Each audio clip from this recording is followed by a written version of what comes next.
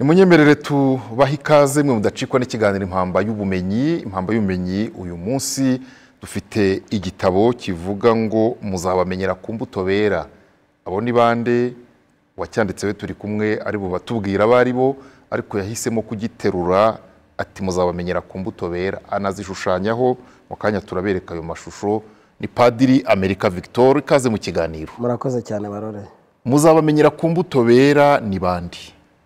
Murakoze iki gitabo nyandika mm, bande ni njyewe ni wowe n'uriya ni abantu bose.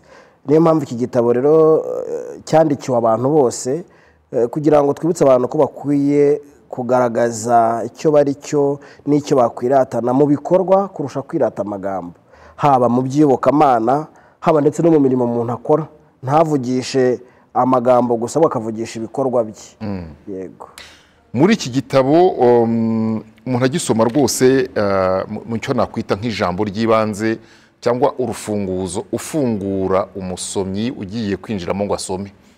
Waravuze uti nge sinandika kuko hari ikibaye nandika kugira ngo hagire ikiba. Ariko nanone ikiriho ni cyo kimpa igitekerezo. Eh, dusobanurira iby'iri jambo riri ku rupapuro rwa cumi na gatatu. Murakoze cyane ni byo narabyanditse. Kandi rwose nabisubiramo ntago nandika kuko hari ikibaye ahubwo nandika kugira ngo hagire ikiba. Ariko ikiriho ni cyo kimpa igitekerezo bivuze iki? Ubundi hari abantu bandika kuko hari ibyacitse hari ikintu kibaye umuntu akagira ibintu yandika. Kuko ari fenomene ari ibintu abona imbere ye hanyuma akabyandikaho. Ariko njye nandika ngamije ngo hagire igihinduka ni cyo cyifuzo. Ariko icyo gihinduka mba mpereye ku byo mbona. Ibyo mbona rero ni ibihe bihura n'iki gitabo muzamenyera ku mbuto bera ni uko mpereye no mu buryo bw'iyobokamana twitwa abakirisitu ndetse tukagira andi mazina atandukanye atwereka ko tu- turi abantu kuko batandukanye n'abandi ariko se koko imbuto zacu zitandukanye n'iz'abandi aho ni ho nagira ngo rero mvuge nikebura nkebura n'abandi mvuga nti ni byiza ko abantu bareba bagahuza ubuzima bwabo koko n'uko bitwa ntidutahire ngo umuntu yitwa umukirisitu yitwa murejo yitwa umukarisimatike yitwa umurokore yitwa intwarane yitwa mbese ya mazina nabwo nga turata ubutwari mu magambo ariko imbuto umuntu atazibona. Aho rero ikiriho ni uko nabonaga ko kuri iki gihe byeze cyane cyane cyane amadini aravuka ku bwinshi. Amadini aravuka ku bwinshi ariko ukabona ibijyanye n'ubumuntu biragenda bigabanuka. Kuko uko amadini avuka nasanze bitandukanye n'uko ubumuntu rwa rukundo mu bantu umutima wo gufasha mbona ugenda ugabanuka nyamara kandi amadini yo yiyongera umunsi ku munsi. Ukibaza se aya madini imbuto zayo ni izihe ubundi? Numva rero ni cyo ngicyo nahereyeho eh, mfata n'iyi nyito Ah, i- iki giti washushanyije ku rupapuro rw'inyuma gifite imbuto zihiye n'izidahiye. Yego. Haba hari ubutumwa? Yego bifite ubutumwa eh, cyangwa na- ni dizayini ni y'umwaritisi dizayini ariko harimo ubutumwa. Harimo ubutumwa mpereye ku igitabo kimeze ukwacyo hano imbere hariho izo mbuto. Hasi hakaba ijambo rivuga ngo buri giti ukibwirwa n'imbuto zacyo. Ntago wajya gusoroma eh, ikinyomoro ku giti cy'ipera ni ukuvuga ngo urubuto ruguha cya giti uko kimeze. Ni ukuvuga rero yuko umuntu atajya aho ngaho ngo yirate ko ameze neza nka cya giti ariko nta mbuto yera. Ziryohera abantu. Izi mbuto ziriho urabona ko ni igiti kimwe ariko mu bihe bitandukanye ishobora kwera imbuto ziryoshye zeze n'izitarera ariko ibihe tujye tubibihe ntabwo umuntu avuka ibintu byose abitunganya. Nkavuga nti uyu munsi nshobora neza zino mbuto. Ariko bitewe no kwigishwa bitewe n'ikindi na za mbuto zikazahisha zikagira akamaro. Niyo mpamvu ubona hariho imbuto ku giti kimwe ariko zifite amabara atandukanye. Bivuze ngo rero zinahishije mu buryo butandukanye. Zikaba zagira n'umumaro mu buryo butandukanye. Ni kesitiyo y'igihe. Ni ukubiha igihe ni kwa kwigishwa gukeneye ariko izo mbuto uwateye igiti kinashaka ni urubuto. Rw'icyo giti ashakaho. Niyo mpamvu rero n'icyo bivuga iki giti kiri hano inyuma. Ntabwo ari ukugira ngo umuntu aryoshye igitabo gusa ahubwo harimo n'ubwo butumwa. Hanyuma ariko padiri ah, nasomye iki gitabo nsanga mu kucyandika. Ah, uravuga ko hari ubundi buryo bw'iyogezabutumwa? Mwabwise iyogezabutumwa rivuguruye. Iyogezabutumwa rivuguruye muri diyosezi ya kabgayi. Yego. ukoreramo ah, umurimo. Paruwasi ya nyabinyenga. Eh, muri ubwo buryo buvuguruye nasanzemo eh, ko watumiye ab- abigisha yego. baturutse mu matorero atandukanye. Harimo n'inyigisho ndwi batanze. Yego. Ah, ndashaka kubanza kumva uko mbere na mbere abakirisitu ushinzwe nk'umusaseredoti nka padiri mukuru wabo uko babanje kwakira icyo gitekerezo. Cyane ko cyane ko hari n'igihe n'abo ngabo baba baranavuye iwanyu. Yego ni byo kuko icya mbere mvuge ko icyo gitekerezo ntabwo cyaturutse muri ngewe cyaturutse mu byo mbona nk'uko nigize kubivuga ikiriho ni cyo kimwe igitekerezo. Aho abakirisitu bazaga bakambaza ibibazo. Ibi ni ibi ni ibi. Dore hariya twagiye kuhasengera bavuga ibi ni ibi ni ibi. Ariko birakwiye ko tuba mu ntambara y'amadini. Kuki hariya hataturuka umuntu uzi ibyawo ubisobanukiwe nanjye nkaza mu byo nize mbisobanukiwe tugasobanurira abo dushinzwe ko ari intama zacu zikareka kubaho mu gihirahiro no kubona uriya badasengera hamwe ari uwo kurimbuka ari umuntu udakwiye. Ngo igitekerezo cyaturutse mu- muri ako gace mu bo tubana. Hanyuma hakabaho gahunda yo kugenda ntumira abantu batandukanye mu matorero atandukanye kuko agace nkoreramo harimo amadini menshi. Kugira ngo dukore iyobokamana rivuguruye rifunguye kuko buriya abakirisitu bamenyereye padiri wo kuri aritari padiri wo kuri aritari uza akigisha uko kiliziya yabiteguye agatanga umugisha akaba aragiye. Wasigarana icyo kibazo ntubone aho ukibaza. Mbona rero ko abakirisitu bakeneye esipasi ahantu babariza ibibazo by'ukwemera bafite. Cyangwa se bahura na byo mu bavandimwe babo abo babana abavindimwe nabo bababaza aho rero niyo mpamvu nahisemo gutumira abantu batandukanye nk'uko mwabibonye harimo amadini atandukanye natumiye pasiteri mpyisi ezira mu idini ry'abadivanisi umunsi wa karindwi harimo pasiteri sengarambe jafet wo mu idini rya adeperi abo ni abantu basanzwe bazwi kwigisha rwose hakaba umupadiri witwa jean damascene habimana matabaro eh, ni padiri mukuru wa paruwasi ya gihara nawe araduha ubwo butumwa bw'iyo nyigisho harimo umubikira witwa Serge Jacqueline Mukesharugo nawe watanze inyigisho ndetse n'abandi bagabo babiri. Harimo Emmanuel Muhire ndetse na Bernard Uwamahoro. Muri za nyigisho nk'uko mwari mumaze kuzivuga uko ari zirindwi. Yego. Ah, ubwo ni ku ruhande rwanyu uko mwabitekereje mwabiteguye n'icyo mwashakaga gukiza cyangwa kuvura ah, cy'imyumvire runaka. Ah, abo batumiwe se bo? Abatumiwe rero? Mubegereye bya- byaraboroheraga kuza. Abatumiwe bikiba abantu ibintu bitangiye bwa mbere abantu barahurura. Hakabaho abahurura baza benda biteza ibindi bindi bamwe bakagenda ariko hakaba n'abahita baza bandi tugomba gusubiza bya bibazo. Bamwe bakaza ko bateguye n'ibibazo banabyanditse. Ukabona ndetse bafashe no kuri ku bantu bene wabo basenga mu madini atandukanye bati cya kibazo wajya guza umbaza ngwino ukibaze. Padiri yatumiye abantu batandukanye ngwino ukibaze. Nabonye yuko rero hari imbuto byatanze yo gusobanukirwa mbere na mbere bari basobanukiwe kandi noneho hari n'abantu bahindutse koko. Kuko ndibuka ko nyuma yaho dutangiye icyo gikorwa nyuma yaho ni ubwa mbere byabaye ntabwo ari ibyo kujya gute ariko ni ubwa mbere byabaye ko twakiriye abagarukiramana bagera ku gihumbi na magana abiri. Muri uwo mwaka twagize mariage mirongo inani z'abagarukiramana baragarukiye imana. Icyo ni igikorwa kiba gikomeye kuko twageze ku mitima y'abantu benshi. Nkabona ko iki gikorwa kiba gikwiye gukomeza. Gusa nyine gisaba uburyo nagikoze inshuro imwe mbona imbuto zirimo niyo mpamvu nahisemo ko zikomeza ariko mbona ari ibintu byari bikwiye guhoraho. Mm, wari ukomeje ku musaruro byatanze ku ruhande rwanyu. Eh, ntacyo turabifata gutyo kuko eh, uranabivuga mu gitabo ariko nanone habayeho kubaza ibibazo. Yego. Ndetse ibyo bibazo bigera kuri ni ibibazo mirongo itanu. Eh, babajije turanabyinjiramo gakeya eh, ntabwo byose ni binini? Eh, ni byinshi ni umwanya munini ni umutwe wa kabiri w'iki gitabo. Ariko urebye mbere y'uko utubwira ibibazo mirongo itanu byabajijwe uravuga uti ntitugamije kuzamura impaka.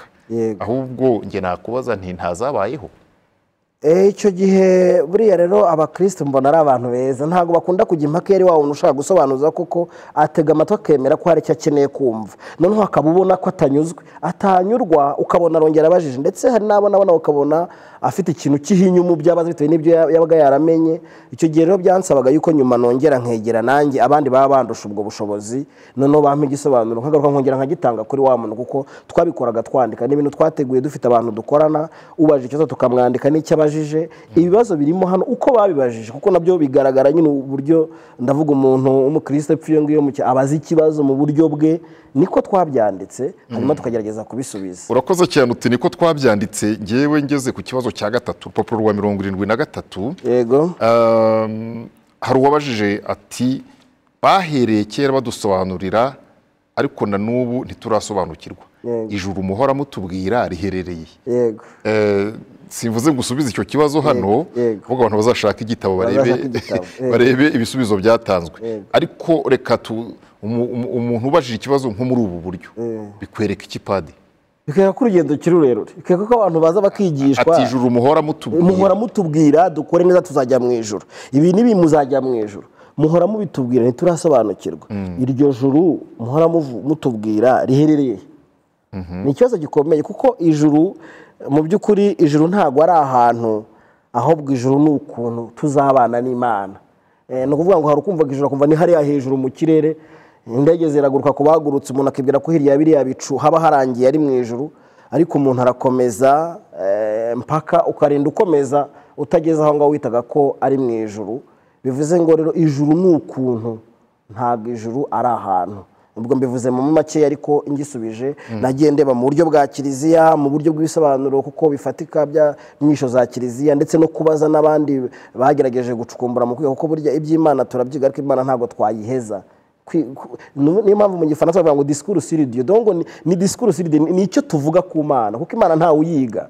Eh, nta n'uvuga ngo twize teolojiya ngo twize iby'imana ariko ntabwo iby'imana umuntu abyuka ngo abiheze. Ahora ayishakisha. Eh, ariko bababaje ibibazo ngira ngo bigomba kuba namwe mwaravuze muti a ba bantu burya duhagarara imbere ni uku burya badutekerezaho ni uku batekereza. Burya tumara ku- ku- ku- kubasobanurira ivanjiri n'andi masomo bagataha bafite ibibazo byinshi. Reka dufate nk'ikibazo cya cumi babajije. Ikibazo cya cumi Ba- babajije baravuze ngo imyambaro y'abasaseredoti n'ibindi bikoresho bya liturujiya bishaje bijya. He? Yego. Ubundi se? Njye singiye kubaza ngo bijya he Eh, ahubwo arabibariza iki? Ko bitamureba? Ni ya matsiko. Ni ya matsiko. Buriya hari ibintu bafite amatsiko umuntu akayibaza ngo ese ngo ako gashati wambaye wakaguze hehe? Um, bimumariye iki nabimenya? Ariko ni ya matsiko ashobora kugira. Ibyo rero twagiye twubaha abantu ariko nanone akamaro biragafite. Nk'umukristo akabona buri gihe ese ko tuzi ko twebwe muri kiliziya gatulika dufata ko ikintu gitagatifu kirubahwa? Kirubahwa. Ibyo ngibyo byo ku myambaro binajyanye n'amavuta matagatifu dukoresha ese iyo mavuta ashaje ajya hehe bigenda bite aho rero muri icyo gitabo harimo igisubizo rwose ku buryo uwagisoma yanyurwa n'icyo gisubizo. Mm, ariko wabivugaho ni ibintu bikomeye ngo murabishyingura. Eh, ni byo ni ukuvuga ngo burya ikintu umuntu yuba- yubashye ntabwo akibika ntabwo agihisha aho ngaho ahubwo aragishyingura gushyingura rero ni ukuvuga ngo ni ukubika icyo kintu cy'agaciro gakomeye mu buryo ngo bw'icyubahiro kandi bukwiye. Ni ukuvuga ngo ko icyo kintu kiba cyaratagatifujwe bagira uburyo eh, bikorwamo kandi bigakorwa nyine n'abatorewe n'ubundi wa murimo wo gutagatifuza. Ntabwo ari ibintu bikorwa ampu uranyemerera nsome igisubizo mwatanze. Yego. Wagize uti ni paje ya mirongo inani na kane. Yego ndahari. Niyo byaba bishaje cyangwa byangiritse gute imyambaro n'ibindi bikoresho bitagatifu dukoresha bigumana agaciro kabyo bikabikwa neza. Iyo bigaragaye ko byangiritse bikomeye cyangwa bishobora kugira ingaruka mbi ku buzima bw'umuntu bishyingurwa ku buryo bw'icyubahiro kandi bigakorwa mu ibanga n'ubwizige bukwiye. Ibyo bigakorwa n'ababifitiye ububasha abaherezabitambo n'abandi basanzwe bakora imirimo yo mu ngoro. Muri za kiliziya nkuru zubatswe ku buryo bwa kera. Bateganyaga ahantu h'ibanga icyo gikorwa gikorerwa bakahashyingura. Bakahashyingura ukarisitiya zangiritse amavuta matagatifu ashaje ndetse n'ivu ryavuye mu bindi bikoresho bitagatifu. Igikoresho gitagatifu niyo cyaba gishaje ntikigomba gukoreshwa indi mirimo ibonetse yose. Ndagaruka kuri iri jambo gushyingura. Ah, urabizi ni- ni- nk'aha ngaha turi eh, urabona ko hari ibitabo ushobora kuvuga ati ni mu bushyinguro bw'inyandiko. Yego. Ni mu bushyinguro bw'inyandiko. Archivaje ubushyinguro bw'isezerano ryera muri bibiliya birimo. Yego.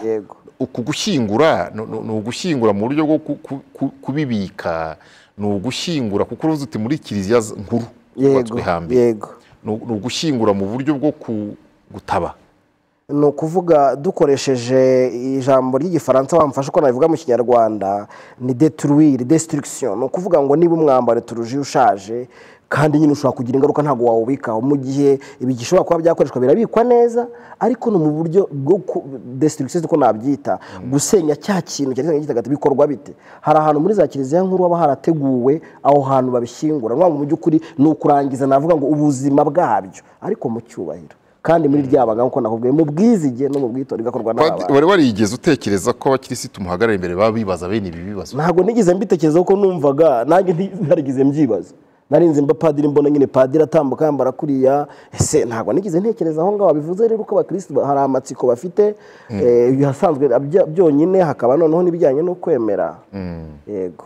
Um, babajije byinshi uh, bagera no ku maturo. Yego. Amaturo. Amaturo bayabajije eh, mirongo icyenda n'imwe. Mirongo icyenda n'imwe yego. Kuki mudusaba kugira uruhare mu gutunga abapadiri? Yego. Ekonoma lokale kandi abapadiri ba kera ari bo ahubwo baduhaga ibitubeshaho. Yego. Eh, ikibazo cy'amaturo. Ah, nk'abashinzwe iyogezabutumwa. Iyo wumvise bakibajije nko muri iyo semineri cyangwa muri ibyo biganiro muri iryo yogezabutumwa rivuguruye. Mu- mubyakira nk'aho gutura biremereye abo mushinzwe mubyakira nk'aho batasobanuriwe akamaro ko gutura ni ikihe muri ibyo? Navuga ko byombi birimo. Hari abo ubona bakiri muri iyo nzira y'ubukirisitu ubona biremereye ariko bikaremera cyane cyane kuko batanasobanukiwe. Nibwira yuko rero bagomba kubanza bakanasobanukirwa kuko aho ngaho hari ahantu nabyanditse mvuga nti mu by'ukuri eh, nitutemera ntabwo tuzasobanukirwa. Ariko nanone dukeneye gusobanukirwa kugira ngo twemere. Yego. Aho rero urabivuga mu mpapuro zibanza z'igitabo? N'inyuma nkabivugaho. Nkavuga rero ahangaha bishatse kuvuga iki. Ndabona yuko abakirisitu koko bafite ibintu bagomba kumenya. Bagomba kumenya rwose nk'ibyo by'amaturo ugasanga wenda kenshi tuvuga ngo ni muture. Ese iryo turo yasobanukiwe iryo ari ryo? Ni byiza ko bisobanura kuko muri bibiliya ituro rifite igisobanuro cyayo. N'icyo ryakoraga. N'uyu munsi ni cyo dukora no twinjiye muri ibyo ngibyo bivuga ngo gutunga abasaseredoti cya mbere ni uko kiliziya iyo imaze imyaka ijana niko eh, kiliziya eh, ikora ku isi iracutswa. Ni ukuvuga ngo nimba mbere kiliziya tuvuge ya diyosezi iyi n'iyi i Roma hari ikintu babahaga kugira ngo babashe gukora babashe kubaho. Iyo imyaka ijana igeze baravuga bati uke mubashije kugenda none ubwo muhari mubasha kugira namwe nimwirwaneho. Biratandukanye rero kuri wa mukristo wari waramenyereye yuko babaha byose bakabaha n'abaza kubigisha n'abamisiyoneri abamisiyoneri bakaza ahubwo bafite n'ibifaranga mu mufuka bakuye mu miryango yabo. Aho rero niyo umukristo yambajije numva kuko wa mugani ni ikibazo. Aha rero mwe muradusaba kubafasha kandi abapadiri bari abakera bo baraduhaga. Niko bavugaga. Bati bo baraduhaga akabaha umuceri akabaha minerivare akagera gute? Mwate abapadiri bari abakera iyo ni imyumvire yabo bashobora kugira kuko navuze ko ari abantu batandukanye hazagamo n'abatemera akambaza ikibazo nkumva nyine n'icy'umuntu uta- udaheruka no mu kiliziya. Niyo mpamvu twirinze kuvuga ngo turatinda kumenya ngo ukibajije asengerayo. Byabazwaga gute ku buryo mutamumenya harimo n'ababivugaga mu gitabo birimo haravuga ati sindi umukirisitu gatolika wenda ntanavuge n'irindi dini ryiwe ariko twatangaga mikoro abantu bateye ikidori tugatanga ijambo hariya umuntu akabaza ikibazo ashaka? Tukacyandika twarangiza bitanu tugasubiza. Barakubaza ngo ko bavuga ko mu ijuru huzuye. Ijuru ryaruzuye. Mirongo paje mirongo icyenda n'icyenda. Icyenda ko bavuga ko mu ijuru huzuye Yego. abo ni abagendera ku mubare w'ibihumbi ijana na mirongo ine na bine uri mu gitabo cy'ibyahishuwe. Ubu twe turarwana n'iki Yego. aho ntidukorera ubusa. Yego.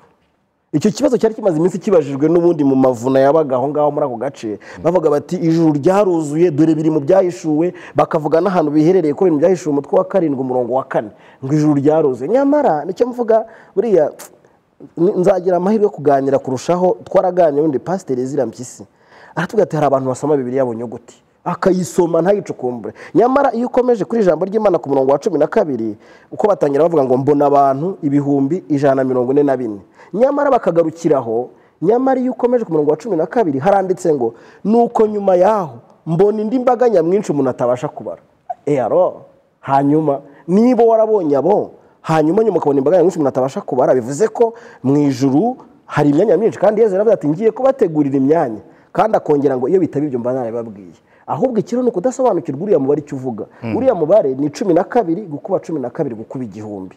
Cumi na kabiri ni intumwa za yezu zatoranyijwe cumi n'ebyiri hanyuma aho ngaho ni mu isezerano rishya ariko bakaba banavuka banakomoza ku miryango cumi n'ibiri ya isirayeli. Bivuze ngo ni abantu bo mu moko yose bo mu bihugu byose kandi bahagarariwe bahagarariwe n'abantu bose. Barangiza bagakuba igihumbi. Igihumbi muri bivuga ngo abantu nyamwinshi. Ngo no mu kinyarwanda bavuga ati hari hari abantu igihumbi n'ibihumbagiza iyo ni imvugo tumenyereye. Bivuze ngo rero uriya ni umubare ushushanya ushushanyije. Hari abantu nyine basoma nyine bunyuguti. Agasoma ibyo niyo pa- pasiteri yise ngo hari abantu nyine bi- binjije mu gusoma no gusobanura ibyanditswe bye. Nta nta- ntabwo pasiteri abivuga. pasiteri zira mpyisi ntimwatandukana atavuze ijambo injiji.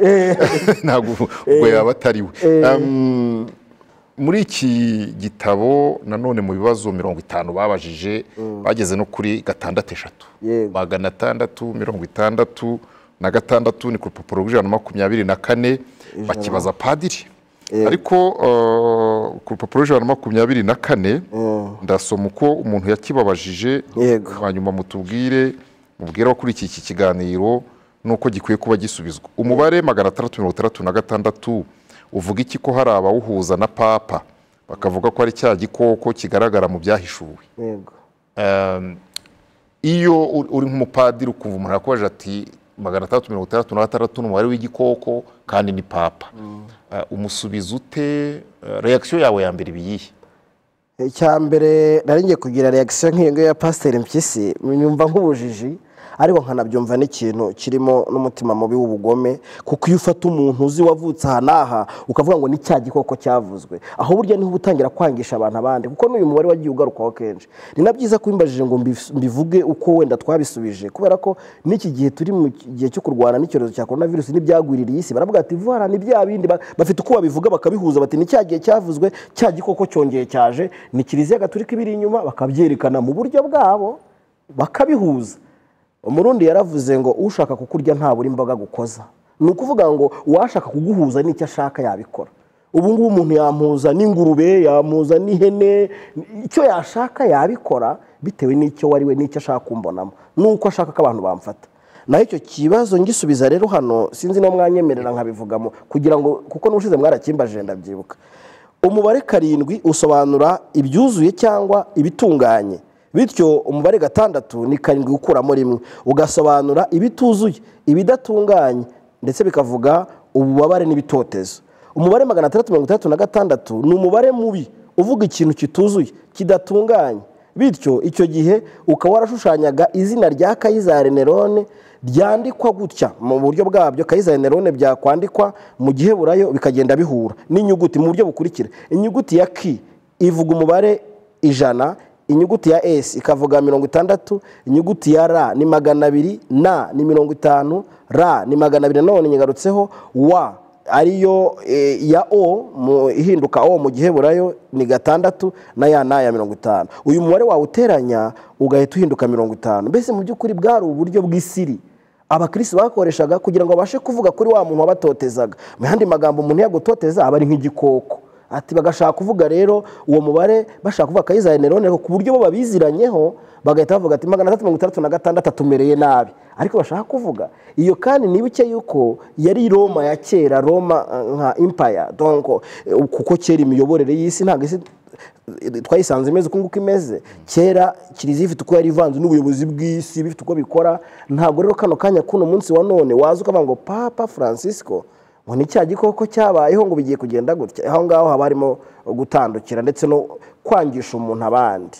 Yego wafashe umwanya um, muri iki gitabo uvuga ku gihe cya korona virusi n'imyitwarire ikwiye ufata n'igihe. Muri iki gitabo cyawe urabigaragazamo uvuga ko watanze inyigisho zikanyura no mu binyamakuru ariko no mu gitabo ugenda uzigarukaho. Ariko ukagaruka cyane ku kuvuga ngo ubutumwa nari ngamije cyane ni uko abantu badakwiye gukerezwa n'aho korona virusi yaturutse kuruta guhangana, na yo n'ingaruka zayo. Ah, bwaba ari uburyo bwiza padiri utabanje kumenya ngo birava he? Twebwe kuki birava he? Udashaka ko abantu bayitindaho icya mbere kiriho twebwe tugomba kwakira realite. Ibyaho bituruka nujya gusanga ari kanaka wakubaganye ikaza biragukuraho kuyirwaye kwica. Ahubwo icya mbere kiriho banza wirinde. Kano kanya ndi nirinde ndinde abandi hano narebe icyo kintu cy'icyorezo kije. Kingumisha mu rugo nkata akazi kanjye nkagira ibi n'ibi n'ibi. Ni irihe somo binsigiye? Ese umuturanyi wanjye aho ngaho igihe cya korona virusi mpamvu nagitinzeho urebe izina ry'igitabo muzamenyera ku mbuto bera navuga ngo korona virusi yabaye nsuzumira ubwo bukirisitu cyangwa nsuzumira ubwo bumuntu. Kuko abakirisitu benshi navuga ngo bagaragaje imbaraga nkeya mu bukirisitu bwabo. Aho rero za mbuto zarabuze. Ibyo ngibyo umuntu yabibona hano muri kigali tugenda tubona ingero nyinshi y'abantu ba- birukanye abakozi bo mu rugo umuntu yagukoreraga mu rugo ari umwana wakorereye aba- abana bagakura akawugaburira ariko korona yaza ukavuga uti sohoka ujya iwanyu. Abana bagiye bajya za karongi bakajya mu ngororero n'amaguru n'iwacu iyo ngiyo baraje n'amaguru ku buryo abana bafite ibikomere bakoreye abantu ariko igihe kigeze cy'icyorezo kije kandi barabakirisitu barabatozaga imana. Ariko igihe kigeze bavuga ngo nimugende mujyi wanyu nta n'itike babahaye. Mubona iki kintu atari ikibazo gikomeye cyo kutera imbuto. Aho rero ndavuga ni korona yabaye nsuzumira ubukirisitu. Mu by'ukuri twaragaragaye niko navuga. Korona yaratugaragaje igaragaza imbuto zacu nk'abakirisitu. Aha rero ni ikintu umuntu atatambuka twagerageje kugenda dutanga inyigisho ngo dukomeze abantu mu bihe barimo ntibarebe ayo maganya n'agahinda barimo ahubwo bizere imana kandi bizere ko ibi bihe bizarangira. Kandi tugasohokamo neza. Numva rero ko korona virusi cyabaye igihe cya konkerizasiyo y'iki gitabo ahubwo kunyereka neza ko ubukirisitu ntabwo ari ubw'izina ni ububyara imbuto nziza. Hanyuma ariko ukanavuga uti interpretation yo kuvuga ngo ni isi yashize. Yego. Eh, ngo abantu ntibagakerezwe n'icyo. Yego. Abantu babaho badatekereza ko isi izashira. Icya mbere cyo nuko burya ijambo ry'imana ritubwira kandi n'ibintu tuzi icyagize intangiriro cyose kizagira n'iherezo. Iyo umuntu yavutse byanga byemera uwashaka abatangira no kwitegura ko azapfa.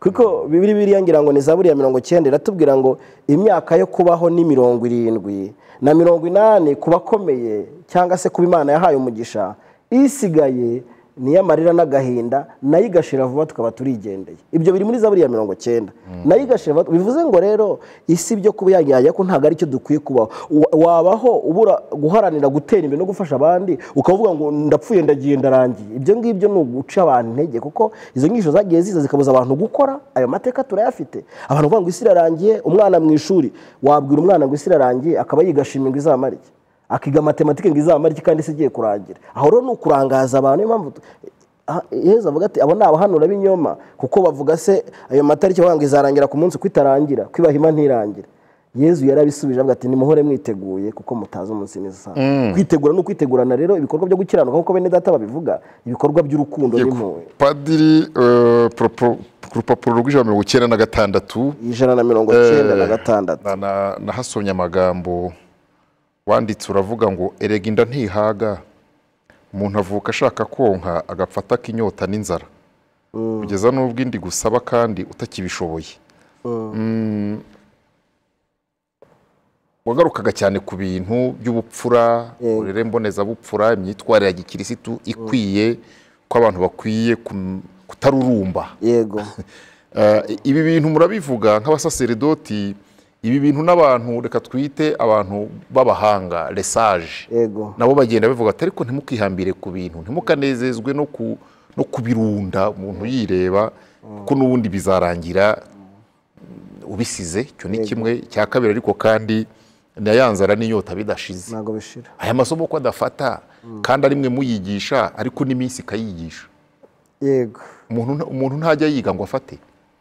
Umuntu buriya ni mugari umuntu ariga avuka akiga cyangwa akanonosora ibyo yari azi akavukana inzara n'inyota kuko n'uvutse icya mbere agomba gukora bwa mbere ararira ubwo wenda isi ifite kubimwakiriye ikindi ya nzara akabigaragaza yonka. Iyo atonse baravuga ko haba habaye ikibazo hanyuma akarinda apfa n'ubundi yanda ikimusaba.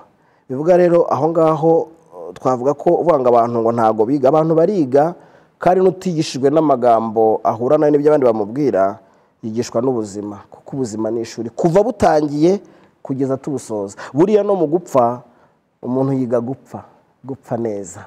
Ugapfa utanduranye. Hari abantu bapfa avuma abandi urakagira gutya na gutya. Nyamara dukwiye kwigira kuri yesu kirisiti ugapfa dupfana imbabazi. Niba hari uwakugira nyagasani mubare ko batazi icyo bakora. Nyagasani nkiza ubuzima bwanjye mu maboko yawe. Ibyo ngibyo yesu kirisiti yanatweretse ko dukwiye kuba twanasoza n'ubuzima bwacu hano ku isi. Umuntu ntapfe yanduranya ntapfe asiga abandi imivumo cyangwa agire abo ayis- ayisigira. Ni ukuvuga rero aho ngaho byombi birajyana. Hari ukwigishwa n'ijambo kuko dufite n'ijambo ry'imana hakaba no kwigishwa n'ibikorwa nyine. Ariko byombi wabisuzugura iminsi iyo ubwayo ni umwarimu na yo ikakwigisha ndagana ku musozo w'ikiganiro. Iki gitabo cyawe muzabamenyera ku mbuto bera harimo n'umuyisilamu mwaganiriye. Eh, we ntiwamutumiye. Muri rya yogezabutumwa. Eh, muganira washakaga kumenya iki? Si icyo washaka kumenya ubona warakimenye yego. Murakoze. Kumenya bihoraho ntabwo navuga ngo icyo nashaka kumenya naki- nakimenye ariko nshimishijwe n'uko icyo namenye cyagize icyo hindura kuri njyewe no ku bandi nabashije kubibwira. Kuko uwo muyisilamu eh, izina rye narihinduye kubera impamvu ze bwite yambwiye. Eh, aya mazina wanditsemo siyo. Eh, ntabwo ariyo ariko ni shehe byo ni byo ni shehe. Yego. ariko ayo mazina ntabwo ariyo yansabye kuhindura muri ubwo buryo kuko mu bwanditsi biremewe ugatanga ibitekerezo utavuze umuntu wabivuze ariko hari aho wabigaragaza uba wahagaragaza ariko icyo nshima ni uko nashaka nari mfite najya amatsiko yo kumenya hari ukuntu twibwira tukibwira yuko abakirisi cyangwa se abantu beza n'abo dusengana. Mu itorero ryacu mu idini ryacu. Ndetse hakaba n'icyo muri kiza twita ngo donc kuganira kw'amadini. Hakaba igihe idini ya isilamu tuyibagirwa. Ariko nasanze ari abantu beza. Ndabegera ndetse no mu kiganiro naganiriye n'uwo muyisilamu nk'uko abigaragaza nanakomoje ku iki gitabo mubaza eh, muzamenyera ku mbuto bera? Abayisilamu ni ikibazo cya munani namubajije aho ngaho mu gitabo. Ndamaze ese mwebwe umuyisilamu nyawe yera imbuto gute abyitwara amate kugira ngo yere imbuto nziza ku bavandimwe biwe ndibuka yanahereye no ku ijambo nafashe mu mutwe aho ngaho ririmo ah, avuga ati ni icyarabu. Ati bisimilahi rahimani rahemu avuga ati mu izina ry'imana nyirimpuhwe n'imbabazi umuyisilamu nyawe ntashobora kujya mu nzu ngo arye aryame atamenye ko imbabura yatse ku muturanyi we. Urumva ko rwa rukundo rurimo. Ati kandi ntabwo umuyisilamu nyawe ashobora kwambika umwana we neza abana be ngo bambare neza hari umuturanyi wambara ibicocero ntabwo ayo mahoro ayabona. Bigaragara yuko rero dushobora kwibwira yuko abeza n'abo turi kumwe bariya baraciwe bararimbutse. Kandi nyamara hari igihe twibwira ko ijuru na yezu yarabivuze ati nimutitonda. Hari abazari batangamo. Ubwo rero nagira ngo mbwire abakirisito ngo mwitonde mutibwira ngo muri beza hari n'abandi beza. Na yezu yarabivuze ejo bundi twahimbazaga icyumweru cy'umushumba mwiza. Yezu aravuga ati hari n'izindi ntama zitaraha. Ni ukuvuga ngo hari n'abandi nabo banjye. Ariko tutari wenda mutari kumwe aha ngaha ariko nabo barahari. Ni ukuvuga ngo rero mu by'ukuri icyo nashakaga navuga yuko kuri njye nakigezeho ariko ndacyakomeza no ku kumuganiriza ngo nzanyimenye n'ibindi mukuraho kandi nabone byaramfashije. Kuko nabishyize mu gitabo kugira ngo bimfashe. Impamvu nabishyize mu mugereka ni uko nabikoze nyuma bitewe na romarike bankose bavuga ati se ko uvuze ku bakirisito gusa abayisilamu bo nabo bakabimbwira numva ari byiza ko nakwegera umwe mu bayobozi bayo bakambwa ama- amahame y'idini n'uko bakora. Ariko ndashima nshimira uwampaye ikiganiro kandi nabonye cyafasha abantu. None um, uzasoma iki gitabo? Uh,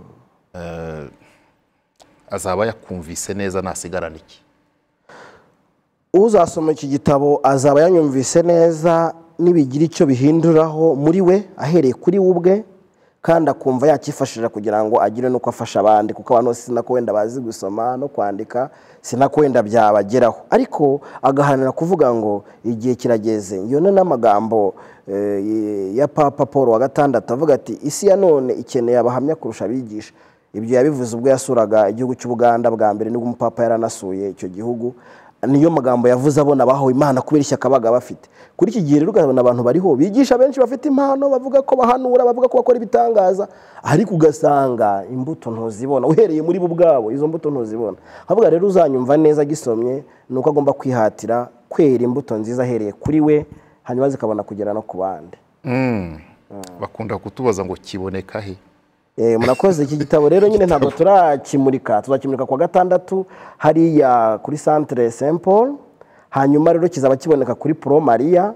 Eh, ni ho ibitabo byanjye n'ibindi byose nagiye nandika ni ho biba biri ndetse kizaboneka no kuri borori caritas ndetse no kuri diyosezi ya kabgayi muri ekonoma. Bizaba bihari none bigende bigera n'ahandi ndetse nakongeraho ko nguko ibitabo nanditse bibiri biboneka online kuri amazon. Bivuze ngo umuntu nk'abari hanze y'igihugu arashobora kuba yajyaho akakigura kuri amazon akakisomera. Eh, ariko n'iki ngiki nibwira ko muri kino cyumweru kizaba cyabashije kugeraho ku buryo abari hirya no hino ku isi babasha gusoma ubu butumwa twanditse. Arakoze cyane padiri amerika victor. Ibyo zina twigeze kuri mubaza mu gitabo cya mbere ntabwo turi bisubiramo igitabo ni muzabamenyera ku mbuto bera ati kandi isi ya none ikeneye abahamya kuruta abavuga. Ubuzima buhindutse kandi bushobora guhindura abandi. Ngicyo icyo yashatse kuvuga ariko ashaka no kumenya uko abandi batekereza ibyo abandi bemera. Ariko nanone mu gitabo akunze kugaruka muri iki gitabo uko nabibonye yagarutse ku ijambo rivuga ngo ibyo twashobora guhuriraho mureke tubishyiremo imbaraga. Ibyo tudashoboye guhuriraho twubahane. Murakoze mugire ibihe byiza.